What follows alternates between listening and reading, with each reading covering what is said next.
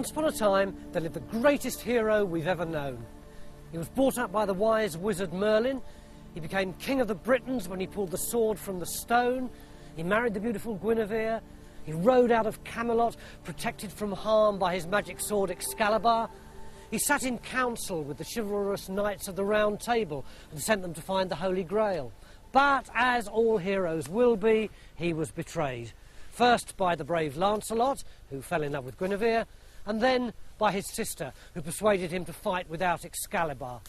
Mortally wounded in battle with his treacherous son, his body was carried to the Isle of Avalon, from where it said, in our hour of greatest need, one day he'll rise again. This king was called Arthur, and his story is known to us all. But actually, he's shrouded in mystery. Some people say that he was a chivalrous medieval king, others a gritty Dark Age warrior, others again that he never existed at all.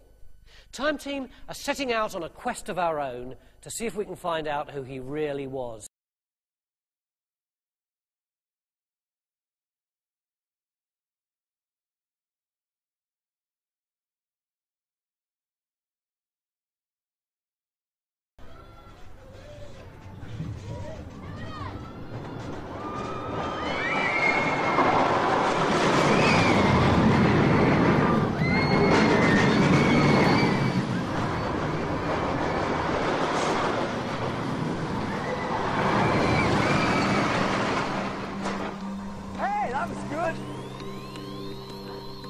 This is Camelot.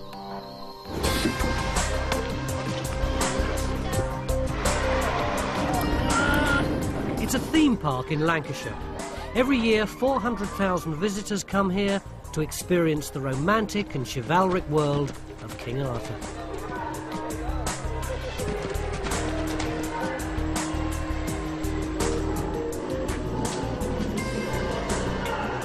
This is how we, in the 21st century, remember him a medieval king. It's an image that's endured for hundreds of years. But is it true?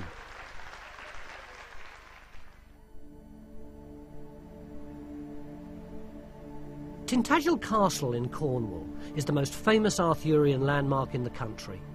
It's thought by many to be where Arthur was actually born. But only because a Victorian poet said so. In the 1880s, Alfred Lord Tennyson wrote an epic poem about Arthur called The Idylls of the King. In it, he describes Arthur's conception in Tintagel Castle and his rather unusual birth on the beach below. And down the wave, and in the flame was born a naked babe, and rode to Merlin's feet, who stooped and caught the babe, and cried, The king! Here is an heir for Uther! With the usual cast of characters, lots of chivalry, lots of romance, and a smattering of magic, Tennyson tells the Arthur story pretty much as we know it today. We have a version of Arthur's birth. We have a version of the sword in the stone. We have Merlin as a figure who is guarding Arthur. We have Arthur falling in love with Guinevere. And then, of course, he shows very powerfully Arthur's death. The last battle is absolutely superb. The core of Tennyson's Arthur is, of course, chivalric. It, he's a knightly figure with the knightly virtues as the Victorians imagined them. And they didn't have to imagine too hard. Tennyson and his friends brought the medieval hero to life with a bizarre photographic record of some of the key scenes. It was easy to forget that there were no cameras in the Middle Ages and to believe in this Arthur and his birthplace. There was no surviving folklore about Arthur at Tintagel until Tennyson wrote about it. And Tennyson put Arthurian tourist sites on the map. It was the age of the railway. People flocked to see Tintagel. Arthur, as a tourist attraction, was created by Tennyson.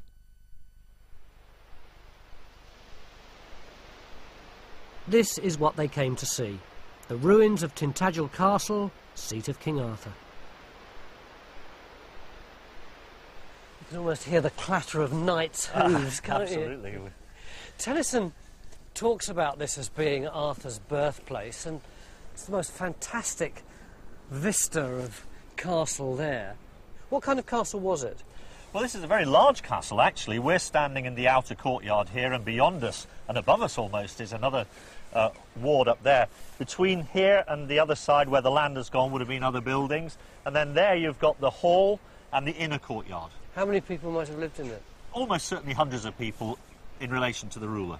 So it's pretty spectacular. Did Arthur live here? I'm sorry, it's not Arthur's birthplace, and it's not his castle either. It's How, how do you say that so definitely? because this is a 13th century castle. Ah.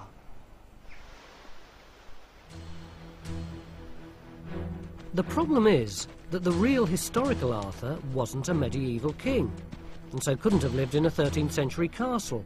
Tennyson was peddling a myth.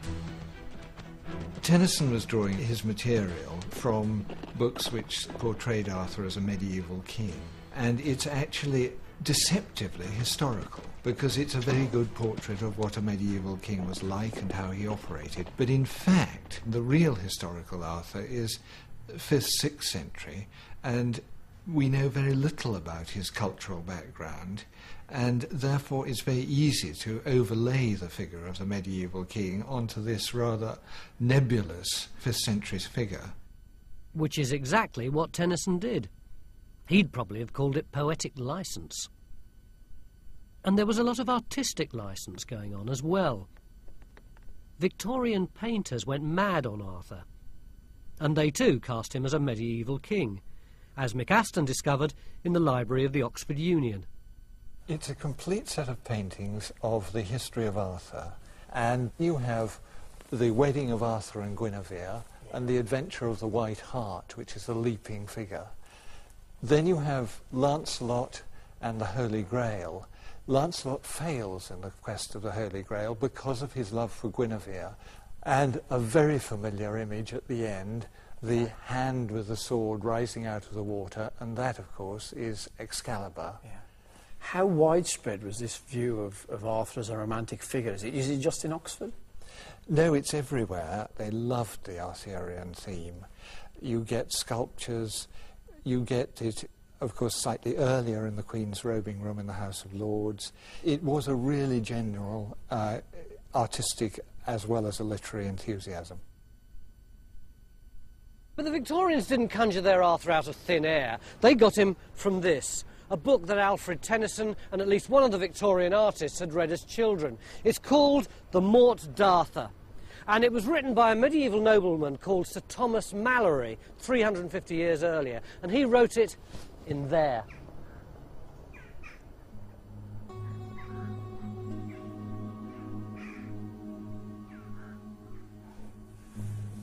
Gosh, this must have been a grim place 500 years ago.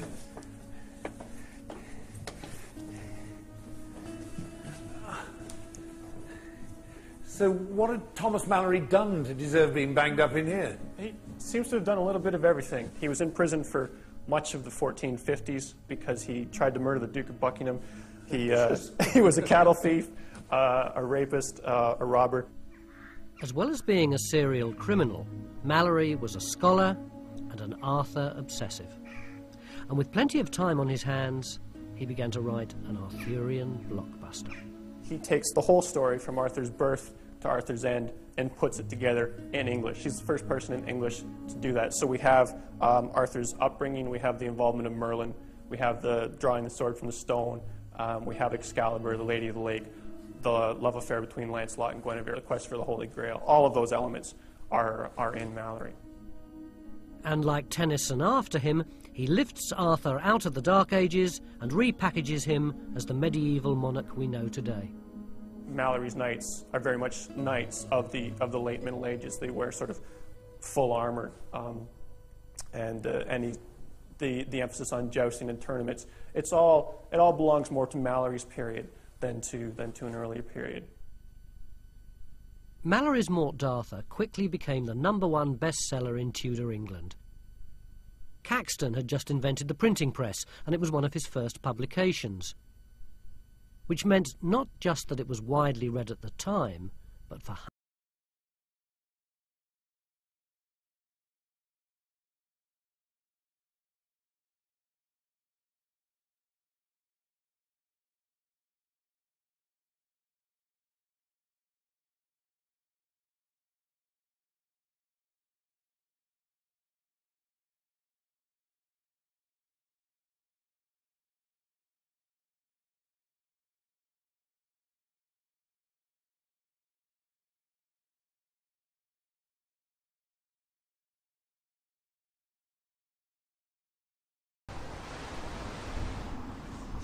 question is, where did Malory get his inspiration?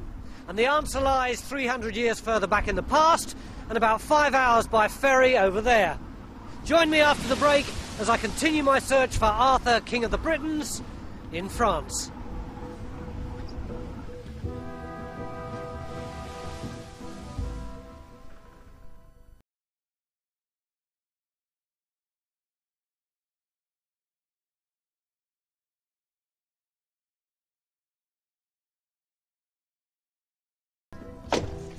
Some people say that this is the real home of King Arthur and his knights of the Round Table, and that 800 years ago this forest rang to the clash of steel on steel, the screams of damsels in distress, and the pounding of hooves as Arthur's knights went about their chivalric deeds. Certainly feels pretty Arthurian.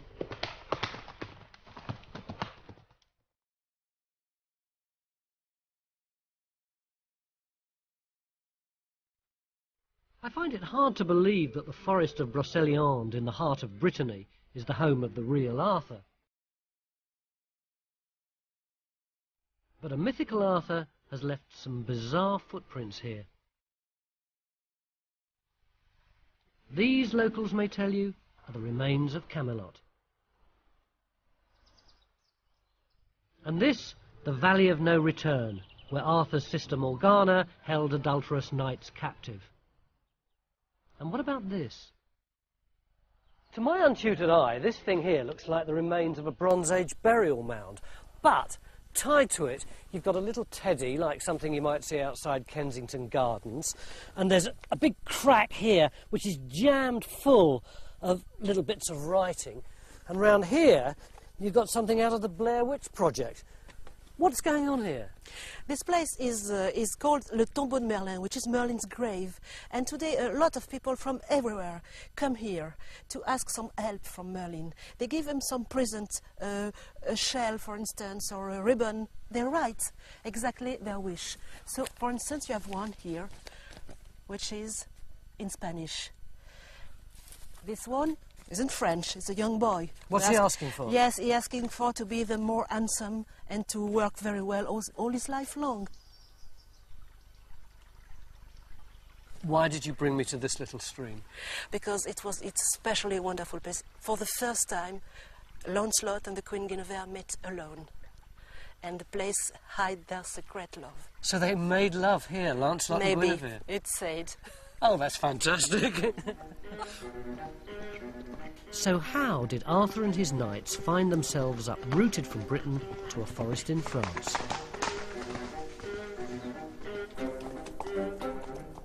The answer probably lies with the Crusaders in the 11th century. They carried with them from Britain stories of Arthur and spread them across Europe on their way to the Holy Land.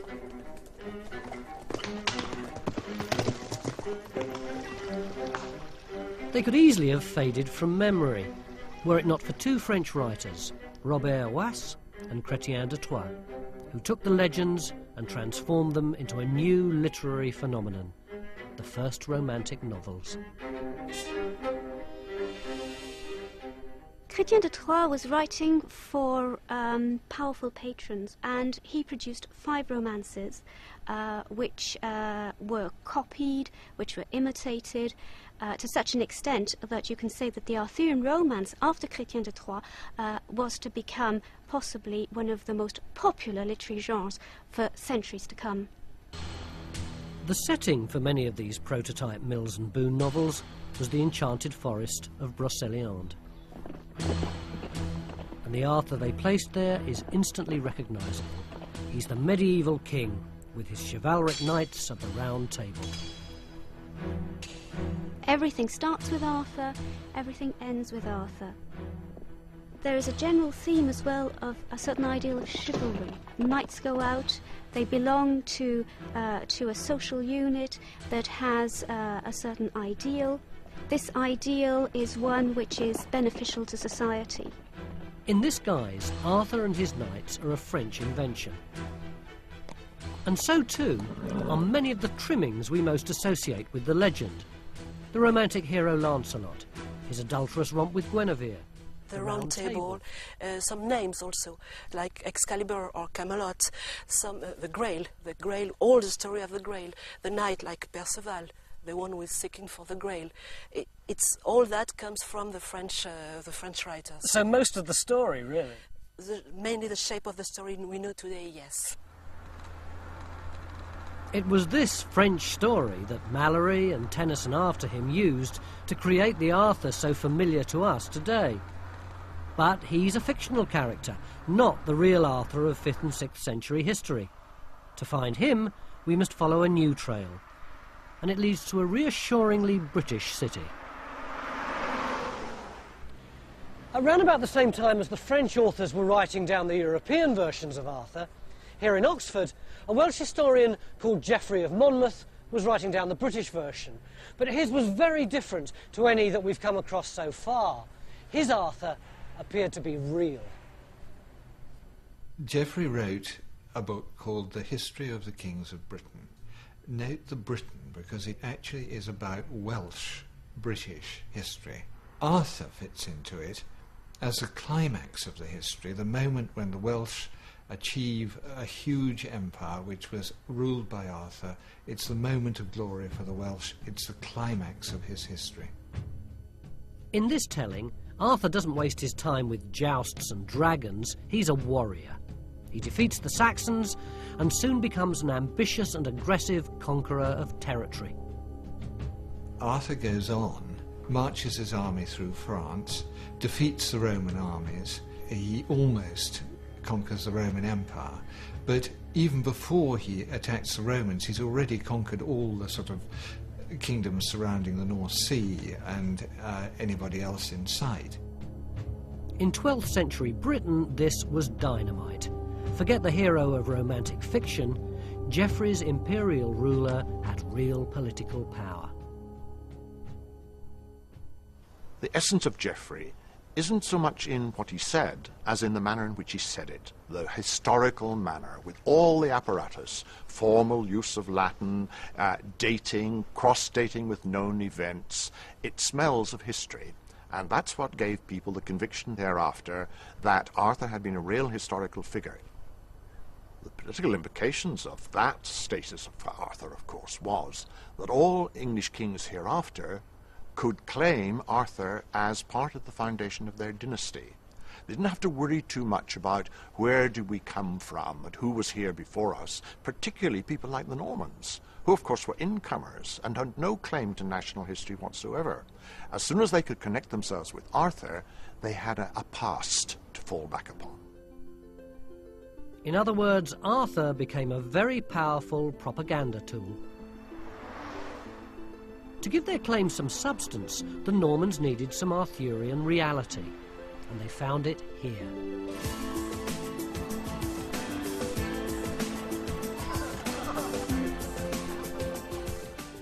Even today, Glastonbury trades successfully on its reputation as Arthur's final resting place. But the story begins 800 years ago. After a tip-off from the king, Henry II, the local monks began an excavation in the abbey cemetery. It was miraculously successful. What's this? Site of the ancient graveyard where in 1191 the monks dug to find the tombs of Arthur and Guinevere. How did 12th century monks know that it was Arthur and Guinevere? I mean, they wouldn't have had carbon dating. No, no, that's right. Well, I mean, the debate really is whether they would recognise one was a male and one was a female, because that's quite a specialised job. Uh, they said that Arthur's bones were very large, and they thought that's what you, you know, a chap like him would have been like. And they found some hair surviving, some blonde hair of Guinevere. But more importantly, they found a lead cross, which uh, said something like, "Here lies Arthur in the Isle of Avalon." But of course, people who've looked at that have said, well, the lettering's all wrong for that date and everything else. It's, it's clearly a, you know, a forgery. So this And is the- a wind-up, isn't it? It's well, that's right. But, I mean, and then the reason is quite interesting, you see, because it's also at the time when we know that Henry II uh, is very anxious to legitimise his reign, and, and uh, what better than to link himself with the, the great hero, and more importantly, perhaps, show that he's not lying somewhere await, waiting to rise and defend the Britons, but he's actually buried at Glastonbury. He's buried on Henry's territory, if you like. And Henry's French, uh, and so if you can demonstrate that his antecedents is uh, an ancient English king, it kind of legitimises Absolutely. him being here. I can't believe that the chaps actually doing it thought that they were involved in some con trick. But Henry's spin doctors probably did. It's, it's one of the first big hoaxes, big archaeological hoaxes. Arthur's propaganda value wasn't lost on Henry's successors either. One of them even claimed to have discovered the original round table, now hanging in the Great Hall in Winchester. But that doesn't go back to the, the 500s, does it, No. What date does it date from then? Well, it's been dated by uh, tree rings. Oh, Dendro date? Yeah. Right. And that puts it about 1275 plus or minus 15. So, say. Edward the First. Edward right? First, So yeah. what, why did Edward the First want to make a round table then? Well, Edward I wanted to attach himself to the reputation of Arthur, king of whole of Western Europe, more or less, great uh, champion of the British, and so he builds an imitation round table, holds periodic assemblies, gets the boys together, and says, "Look, descendant of great of, of, of Arthur." And did, did the other medieval kings feel the same about Arthur? Did they like to identify with him? Indeed, once the, the uh, Edward I had got it started, everybody used it to say, as Edward III did, I am the peak of chivalry. Uh, my uh, chief knights are the supporters of my kingdom and of me, and every so often I get them together to take counsel. We sit round a round table, we hold tournaments, which are also called round tables, and this is emblematic of the British nation. Where does the Tudor Rose come in then? Because that's a lot later as well, isn't it? because the Tudors got in on the Arthurian Act as early as they could. You remember they came to power as a result of a revolution, so uh, saying, um, We are Welsh. Uh, therefore, and Arthur, of course, was Welsh, was a Celt. Yeah. They attached themselves to, uh, to Arthur in that way. Henry VII called his eldest son Arthur, Yes. died early, of course. Uh, Henry VIII had the table repainted, put the Tudor rose in the middle, and said, Tudors equal Arthur. Geoffrey's Historia had fueled royal propaganda for 300 years. But was it true? Was his historical conqueror any more real than the mythical Arthur of medieval romance? it would be very dangerous to rely on him at all. You might find the trace of something which he'd picked up in Wales from a manuscript, from a source which we no longer have, but it's extraordinarily difficult because he's so inventive and so plausible to unscramble when he's telling the truth and when he's inventing the truth. Can archaeology help us to track him down instead? There is one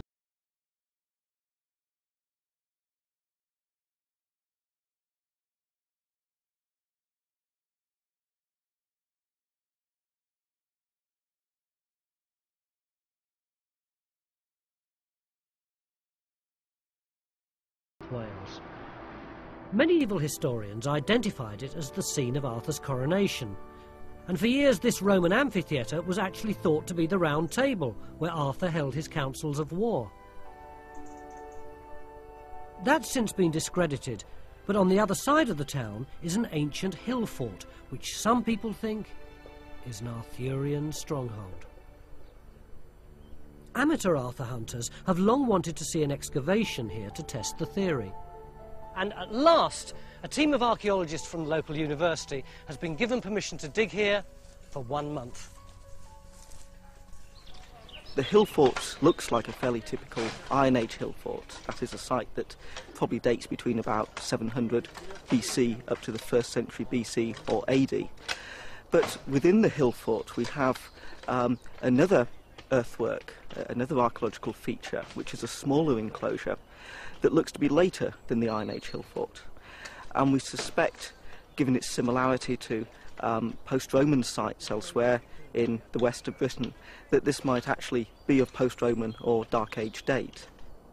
They plan to open three huge trenches in which they hope to find a central hall, a barn, and one or two additional outbuildings.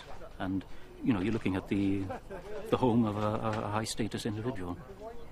But proving this individual was Arthur is another matter, and not something Josh and Ray believe is possible. Not all archaeologists, however, are so measured. In fact, many have tried very hard to uncover evidence for Arthur's existence. In the 1930s, Ralegh Radford dug under the 13th century castle at Tintagel in the hope of finding a 5th century stronghold. He found some structures, but decided they were part of a monastery. 33, 30, 10 Then in the 1960s, a group of archaeologists formed the Camelot Research Committee, dedicated to tracking down Arthur's elusive HQ. 13, 12, Their primary target was Cadbury Castle in Somerset, identified by ancient historical sources as Camelot. It was even marked on the map.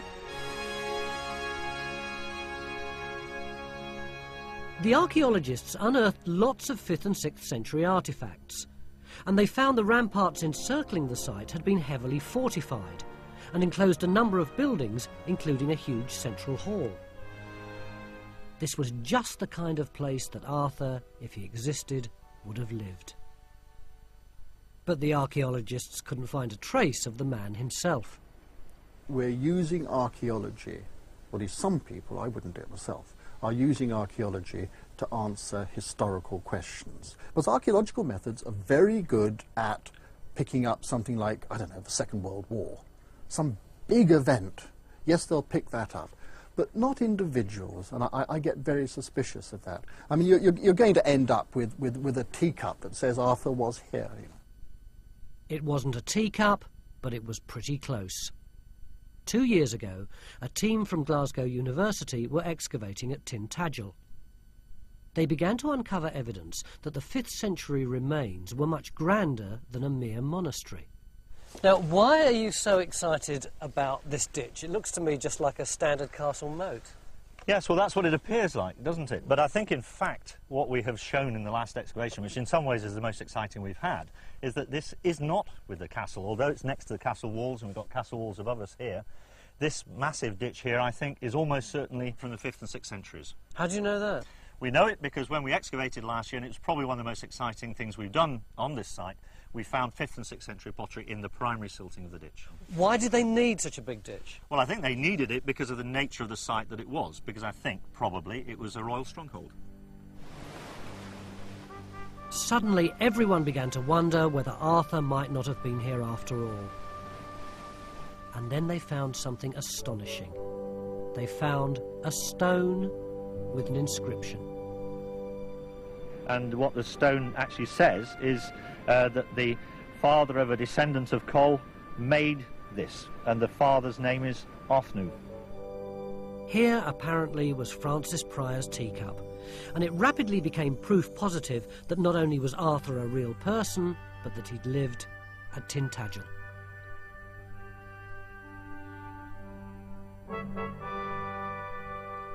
Is this where you found Arthur's stone?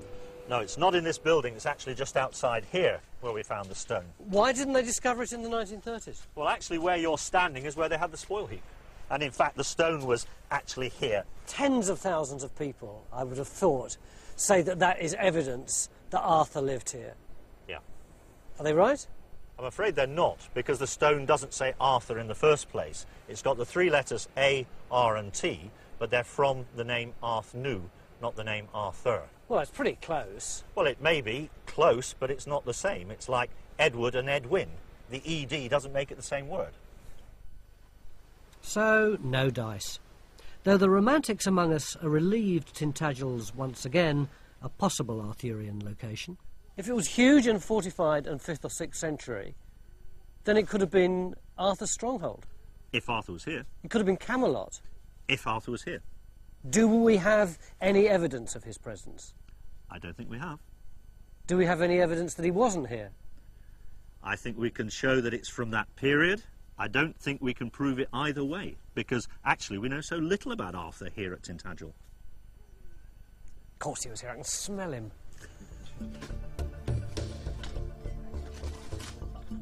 But there's not a whiff of him at Caerleon. After three weeks of hard digging, Josh and Ray and the team at Lodge Hill have shifted an impressive amount of dirt and they've uncovered lots of Iron Age archaeology. But Arthur has once again proved elusive. We have a few small fragments here. Not very exciting, but enough to indicate that we have late Roman activity on the site. Three tiny little pieces isn't much of an assembly for three weeks' work, is it? No, it isn't, and uh, the pottery may not even represent Dark Age activity. Is this the amount that you would expect to find on a Dark Age site, then? In certain circumstances, you, you, you may um, be in a situation where you don't come across any finds. Certainly in the west of Britain, uh, we know that pottery production ceases at the, the, the end of the Roman period, and we can often only identify uh, Dark Age sites through the presence of imported Mediterranean pottery. Is this Camelot? I wouldn't have said so. We've drawn a blank on the archaeology. But join us after the break as we finally track down the real King Arthur and work out how he might have pulled the sword from the stone. 1150 right now. I need my gloves.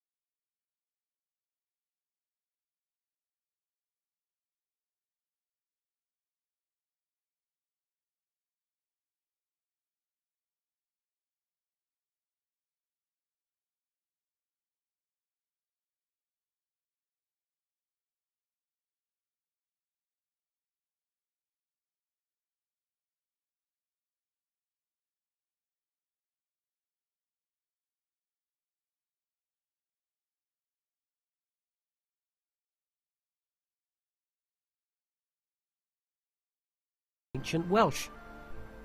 This is the White Book of Rhydderch and it contains what is probably the earliest extant Welsh Arthurian tale or indeed any full Arthurian tale. It's the story of Cilwch and Olwen. Oh, yes. uh, Cilwch, the young hero, searching for the giant's daughter Olwen and he comes to Arthur's court uh, to seek Arthur's assistance.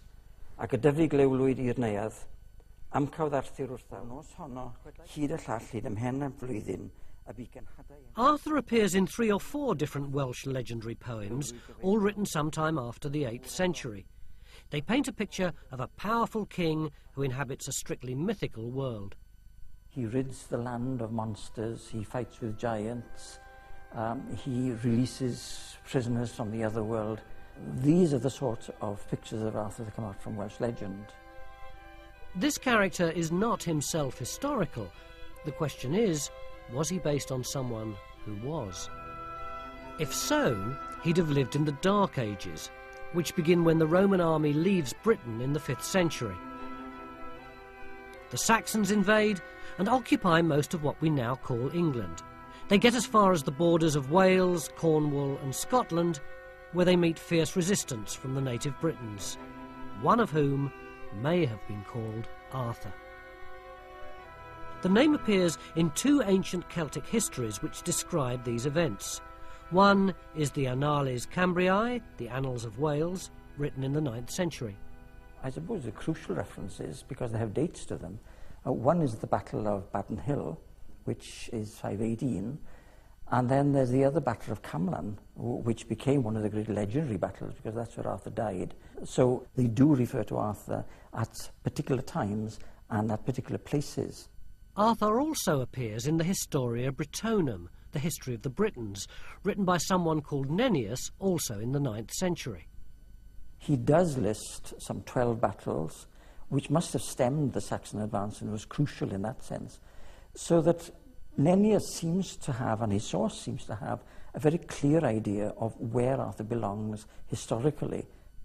But what's worrying about both texts is that they were written 300 years after the events they describe.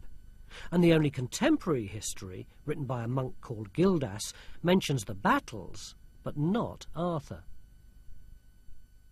There's several ideas, suggestions why he doesn't refer to Arthur, um, some of them more convincing than others, but the fact is that he doesn't. Um, I'm not terribly exercised by that. Um, to me, if you put the bits of information together, you do get a picture of Badon, which must have been a historical battle, the significance of which is the same for Gildas and for Nennius.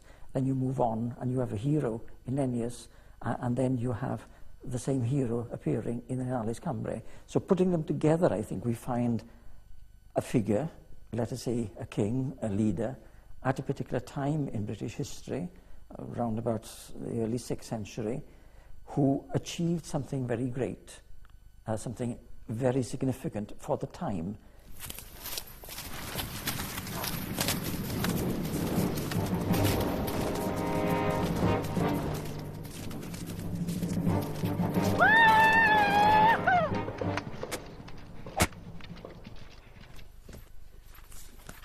Alan. Hello, Phil. So you are King Arthur.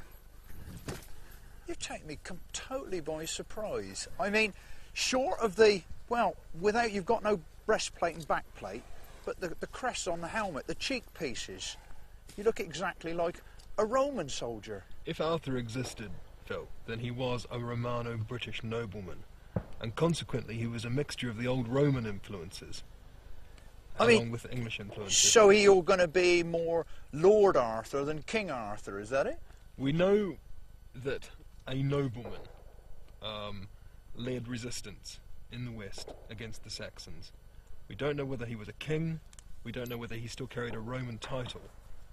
A nobleman, certainly, a Romano-British nobleman, would have worn equipment like this and would have ridden a horse. How many of your compatriots are also going to be mounted, and how many are going to be infantry? Not very many are going to be able to afford the investment in all of this equipment and the time and expense involved in producing a warhorse like this. So you've got small groups of mounted knights. I mean, how was it that they were able to hold off all these Saxon invaders for, for a comparatively long time? What they were able to do was to combine mobility and firepower and shock tactics all in one neat package, if you like. Saxons would could advance, being infantrymen, they can hold ground, they can build fortifications. But Arthur's men have got the ability to roam all over the countryside, and certainly the number and scale of sites associated with them throughout the country indicates that horsemen must have been used to get around all of those places.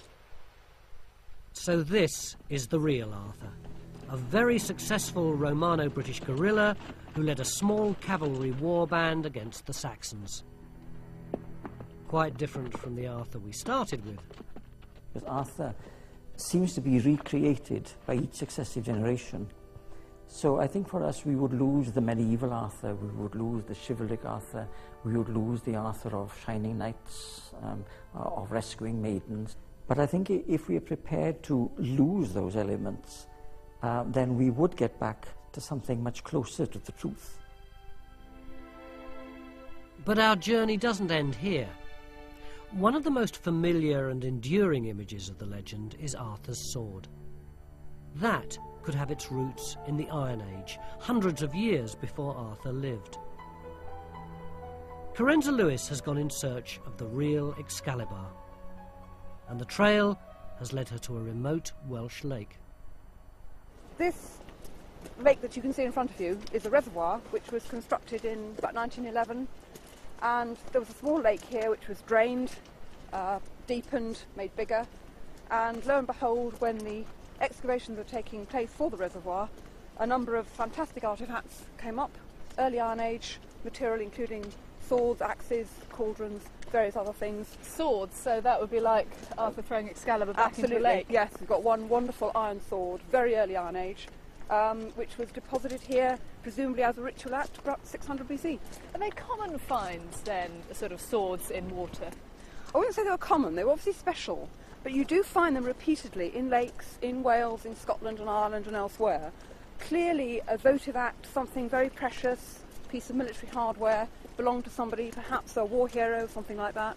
Very often cast into the lake as a kind of act for the gods. So it's as if the people talking about the Arthur character we're remembering ancient, dimly remembered past rituals to put together this myth of Arthur. I would say so. I don't think it's coming out of nothing. I think there is a kind of germ or core of reality and, and, and fact about this, which is then blown up into wonderful sort of episodic stories.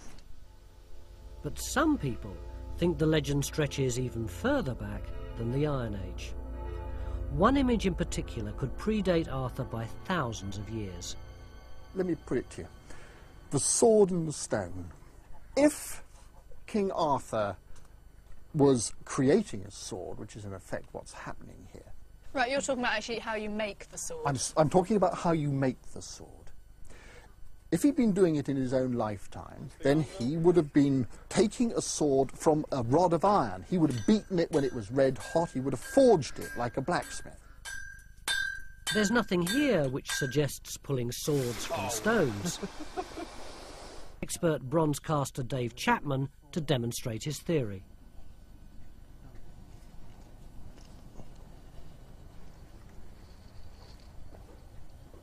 This is the stone. And the sword is in here. It's almost like to me as though there's some sort of great mythical beast in there that's snoring away. Just like a dragon or something. Yeah, yeah, he is. He's, he's, he's deep in sleep, but he's down in there somewhere.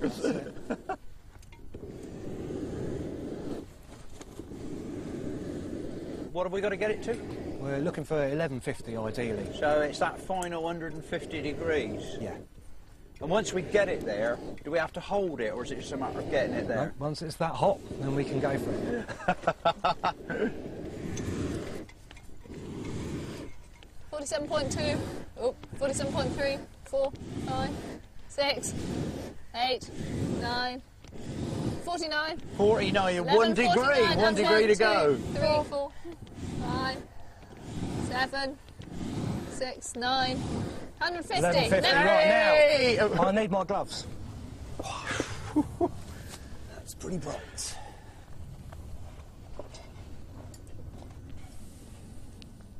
I'll take the lid off first. If we can. Is it going to come? Yep. Oh, wow. Good Lord, look and that's- Roman. It couldn't be Iron Age. It has to be Bronze Age. Which means that the sword in the stone could be up to 1500 years older than Arthur. And Francis's theory has another twist to it. Arthur's sword, remember, had a name. The moment of pouring a sword and casting it, and then very quickly afterwards drawing it from the stone, is a very Someday someone may find a teacup which really has Arthur's name on it, but until then, he'll remain a figure shrouded in mystery. And maybe that's no bad thing, because as each new generation of writers has created their own Arthur out of that mystery, so the legend has developed in richness and colour, and what we're left with is the ultimate romantic hero.